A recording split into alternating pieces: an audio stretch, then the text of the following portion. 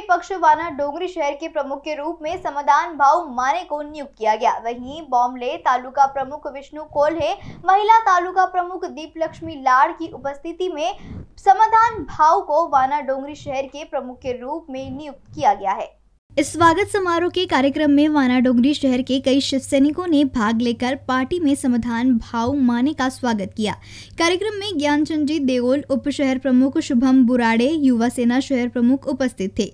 राम गजबर, युवा तालुका प्रमुख पंकज रेवतकर, आयोजक Gajendra Kakade, city head Ashwini Ambade sub city head Umesh Raut, Rohini Tambe, Chitra Shah ने, मंगेश भाव कूड़े, प्रमोद शेंद्रे, सविता, नीता ओके सुधीर वानखेड़े, राजू भाऊ ओके, लखन ठाकरे, प्रकाश भाऊ लरोरकर, भोजराज काकड़े, महादेव वाघमारे, लक्ष्मीकांत मेशराम, रविंद्र खेड़कर, पुरुषोत्तम, साकोर, राजू पाटले, महादेव तेलंगजी मनोहर जी रहांगाडले, पीयूष मल्लेलवार, शेनाडे, मुकेश रहांगाडले, श्रीकांत दखले, विलास पराय, देवचंद काले, विनोद, सुरेंद्र, शेखर गायकवाड़, अनंत शेंडे, संजय ठाकरे, संदीप नारवरे, गजानन लाल दामोदर भांगे, दिलीप उमाले, राहुल अवचट आदि गणमान्य व्यक्ति उपस्थित थे। और इस समय समाधान माने गीता, राजेश ओके, सुधीर वानखेड़े, मोहन मते, महाराज तेलंगजी, रविंद्र खेड़कर, राजू पटले, सुशील कुंवर, संदीप नारवारे जैसे कुछ शिव सैनिकों का प्रवेश हुआ। राहुल रामटेकी, गणेश गिरी, किशोर गिरी, राजू नानवटकर सभी पदाधिकारियों प्रवेश किए। प्रवेश करने वालों में मुख्य आकर्षण खान बाइक गाड़ी वाले रहे।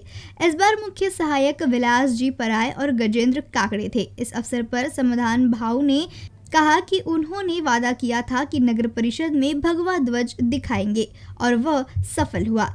इसलिए उन्होंने सभी शिव सैनिकों को संतोष दिया। समाधान माने को वना डोंगरी शहर में बड़ी संख्या में शिव सैनिकों का समर्थन प्राप्त था। इसलिए प्रकाश लारूरकर और लखन जी ठाकरे ने सभी शिव सैनिकों को कार्यक्रम में बुलाया था।